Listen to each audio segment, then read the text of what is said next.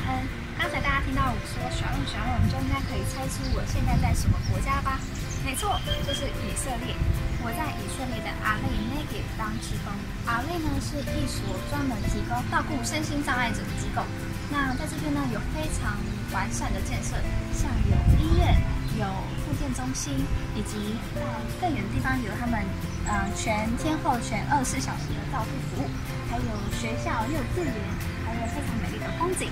那话不多说，我们就一起进去看下去吧。嗨，所以我们现在来到了学校，也就是我之前工作上班的地方。那我们一起进去瞧瞧吧。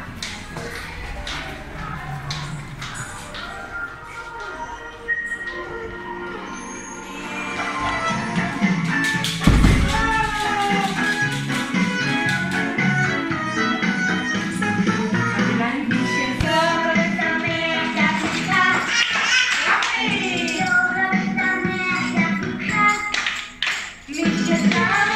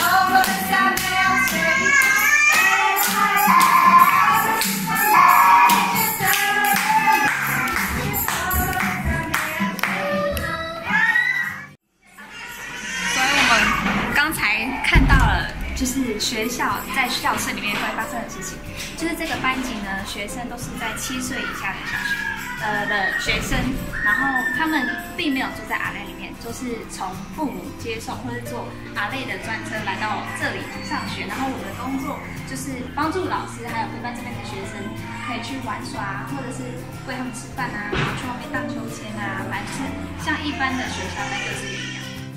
我在这边呢，已经当志工将近四个月的时间。那每一天、每个月，其实对我而言都是新的挑战、成长还有进步。我在这边学会跟体会到许多不一样、往常没有办法学习到的经验，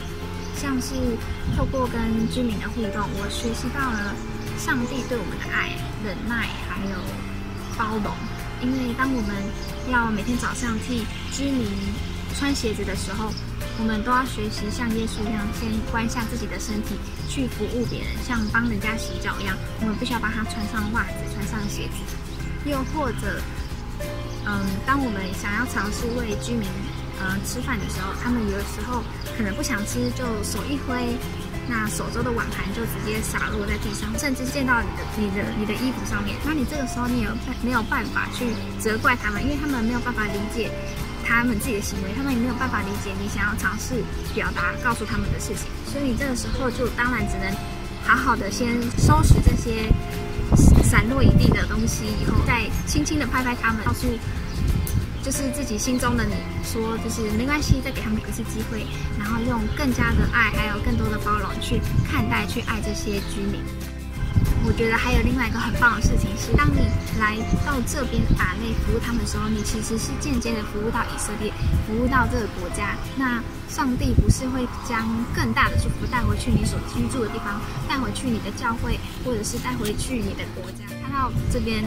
如果你心里有心动的话，还不如马上行动，对吧？阿累呢，他非常的欢迎来自于他志工，或者是如果你是基督徒，那这会是更好的一个选择。他们非常欢迎基督徒来到以色列，来到阿累这边当志工，只要年龄符合十八岁，并且没有年龄上限，你都非常欢迎去到阿累的网站去做志工的申请，那你就很有机会一起享受这边美好的环境。或者你也可以透过经，服务，去支持这边的机构，去支持他们所做的行为，去祝福以色列这个国家。